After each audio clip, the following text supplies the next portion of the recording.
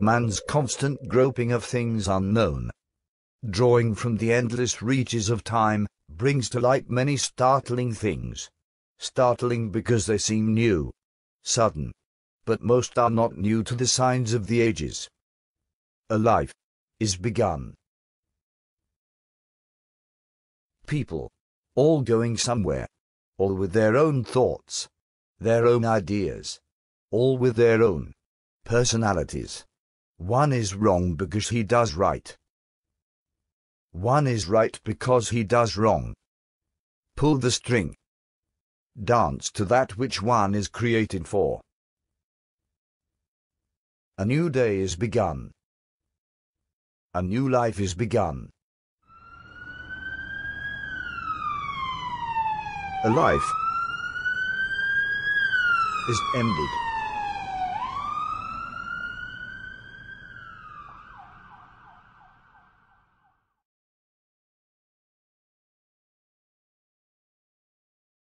Let me see that note.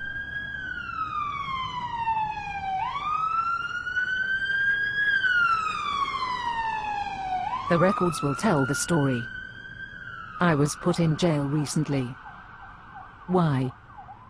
Because I, a man, was caught on the street wearing women's clothing. This was my fourth arrest for the same act. In life, I must continue wearing them. Therefore, it would only be a matter of time until my next arrest. This is the only way. Let my body rest in death, forever, in the things I cannot wear. In life.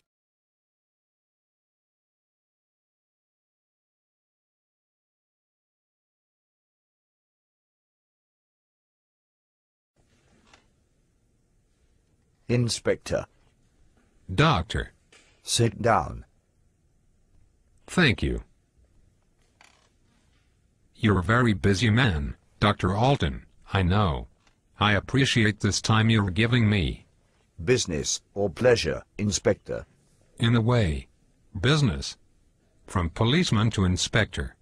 Twenty years of it. I guess I've seen everything there is for a policeman to see. Yet I wonder if we ever stop learning. Learning about which we see. Trying to learn more about an ounce of prevention. I'm a man who thrives on learning. We only have one life to live. If we throw that one away, what is there left? Doctor, I'm hoping to learn something from you. And with that knowledge maybe save some human from a fate which I just witnessed a few days ago. A four-time loser. This type of case comes to me, as well as yourself, many times during the course of one month. The suicide. The suicide. Most of us have our idiosyncrasies. This fellow's was quite pronounced. Yes, but I wonder if it rated the death warrant it received?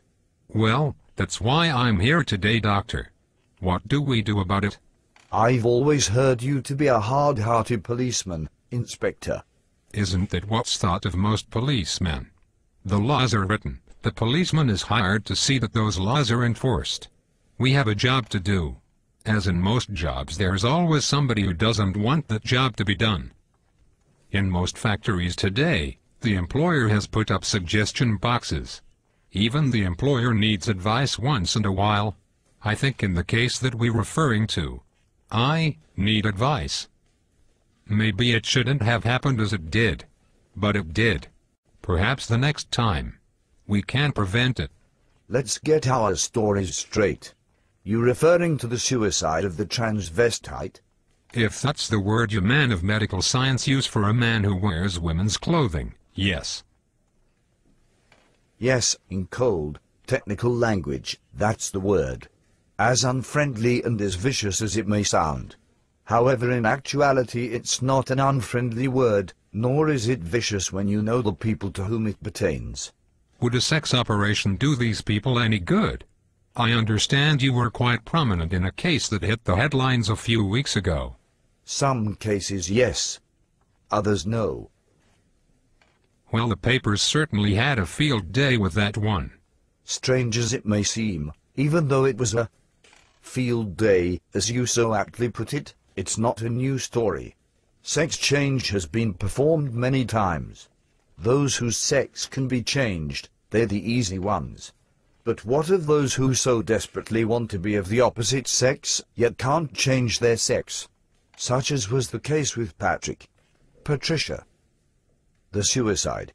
I'd like to understand this, Doctor, as best you can tell me. You can only fully understand the sex change by taking two entirely different cases. Two men with exactly the same background from childhood to manhood, and on to their own decisions and destinations. I'd like to hear the story to the fullest. Only the infinity of the depths of a man's mind can really tell the story.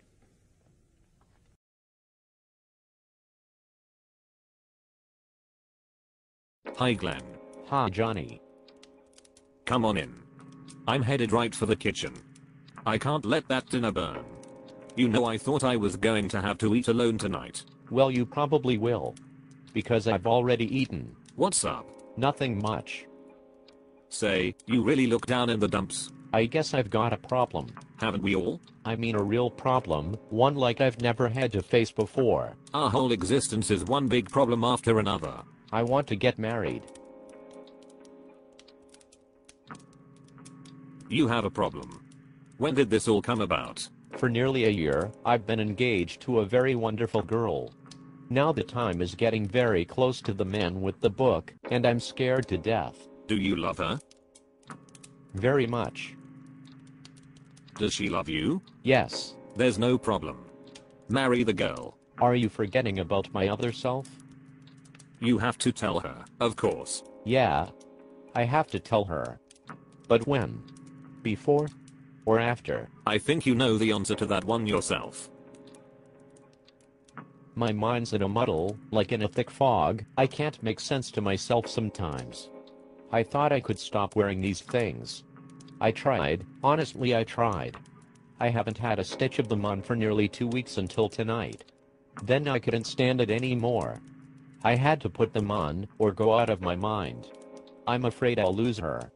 I don't want that to happen, because I really love her.